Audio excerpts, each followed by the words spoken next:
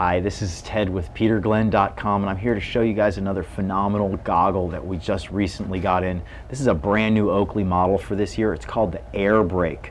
Some, one of the things that's amazing about this goggle is it comes with two lenses. I've seen other two lens goggles before, but this has a really unique mechanism for switching them out. Usually it's really difficult and you really got to kind of work on messing with the goggles probably back in the room. You don't want to do it up on the mountain. This one I could probably do no problem with cold fingers. Um, go through here with you real quick. This is the darker lens. It's better for a brighter, sunnier day. This is the lighter lens. It's better for obviously when it's snowing a little bit or more overcast. Um, to swap the lenses out is actually quite easy.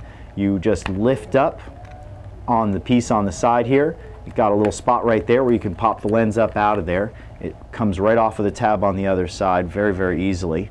And then you fit the other one back into that tab, pop it down onto there nice and flat, and lock the latching mechanism here on the side down. And you've got your low light lens in there, no problem.